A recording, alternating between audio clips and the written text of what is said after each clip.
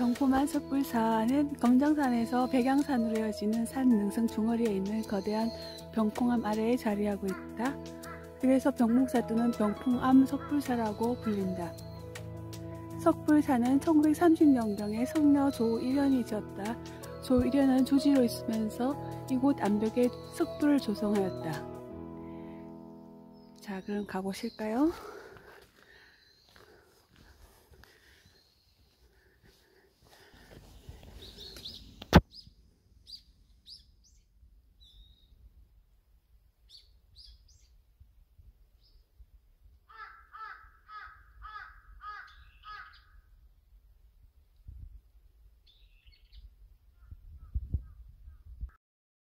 일몰 30분 전에 탔습니다.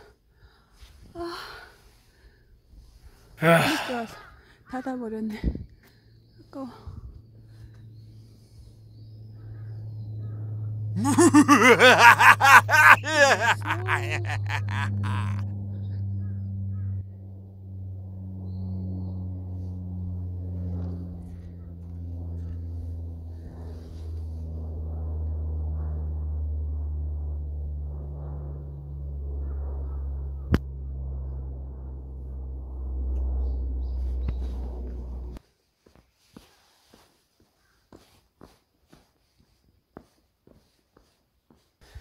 문을 닫았어요.